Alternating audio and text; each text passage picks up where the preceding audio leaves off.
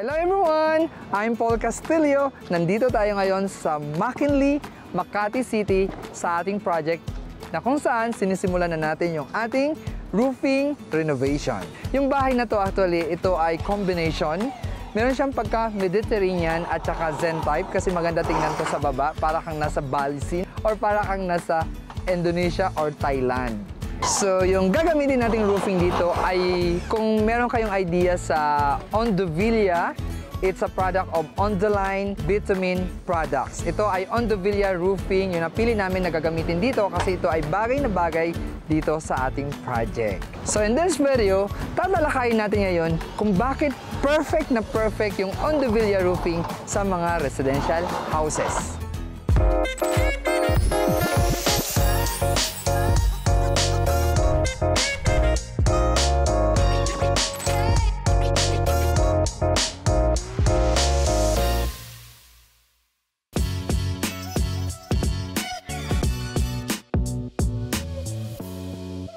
Ang Honda Villa Roofing ay perfect na perfect sa mga residential houses, hindi lang sa mga residential houses, sa mga gazebo, sa ating resorts, or any types of building. When it comes to design, ito ay napakaganda, perfect na perfect sa ating bubong dahil marami tayong pagpipilian na color.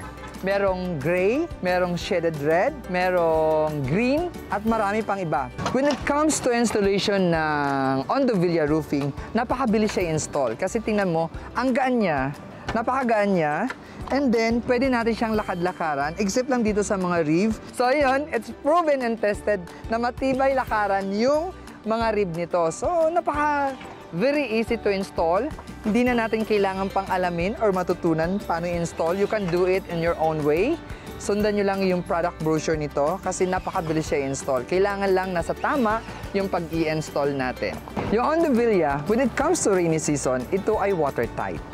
So, ibig sabihin, wala siyang chances possible na dadaanan yung tubig or ulan sa ating bubong. Kahit in any type of direction ng bubong natin. Bakit? Dahil meron tong mga groove end-to-end. So, dito kasi, itong groove na to, dito mag-overlap yung yung next panel natin. So yung gamit natin dito ay umbrella tech screw. Unlike pag ordinary tech screw, rubber lang siya. Ito kasi meron siyang umbrella na meron siyang rubber. Maganda siya install, mabilis kasi nga di mo na kailangan malak- malakas na force using wireless drill. Pero for me, ako, mas gusto gamitin yung tech screw kasi mas mabilis talaga siya.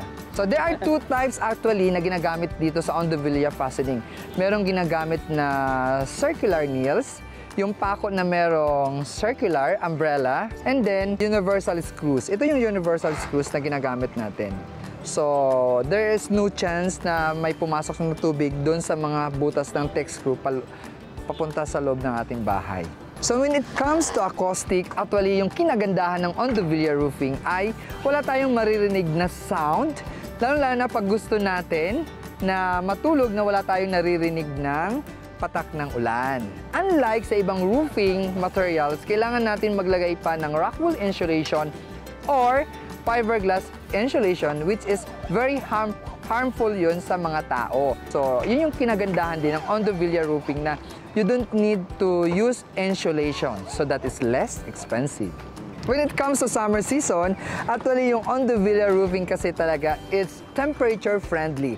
Kaya tumpak na tumpak ito sa atin sa Pilipinas dahil ang Pilipinas ay tropical country. Mapatag-ulan man, mapataglamig, or summer, ang kinagandahan ng Ondovilla roofing, it absorb heat. Yung Ondovilla roofing is absorb heat up to 98%. Without insulation, using Endovilla roofing, makakatipid tayo. Kasi nga, hindi mo na kailangan rin magkaroon na ka ng aircon during summer kasi malamig siya. Yung advantage ng Ondovilla roofing compared dun sa metal roofing ay heat resistance and water resistant. And heat and wind resistant. When it comes to heat resistant, dah yung metal roofing, kailangan natin pang mag-install ng insulation like rock wool, bubble type, or any type of insulation to absorb heat. So kailangan makapal yung ating insulation during summer para ma-attain natin yung temperature na gusto natin sa ating bahay. Unlike pag on the villa, it's perfect, hindi mo na kailangan maglagay ng insulation to absorb heat. Yung pagkakaiba ng on the villa roofing compared doon sa shingles, ang on the villa roofing kasi, it's resistant siya sa typhoon. Yung pagkakaiba niya when it comes to shingles, yung shingles kasi kailangan maayos yung paka-install. Kasi pag natanggal yung isang sheet ng shingles, maaring lahat ito kakalas, especially pag typhoon. Unlike ito, pag on the villa roofing, hindi siya agad-agad makakalas kasi typhoon resistant siya. When it comes to cost, compared doon sa other roofing materials, ang on the villa roofing kasi mas makakatipid tayo. Una, makakatipid tayo sa insulation. Pangalawa, makakatipid tayo sa pag-install kasi mabilis siya i-install. And then pangatlo, makakatipid tayo sa ating electric bill. When it comes to cost, on the villa roofing is a budget cost compared doon sa other roofing material. So that's end for my video and I hope marami kayong natutunan tungkol sa advantages ng Onduvilla Roofing. Please visit www.caspar.com.ph or Caspar Steel Roofing Incorporated in our Facebook page. Again, I'm Paul Castillo and remember, when it comes to your safety, there's no need to look anywhere but the best. Always find the right roofing contractor with a long track record in terms of good product, good price, and good service. Safety is your life. See you on my next video.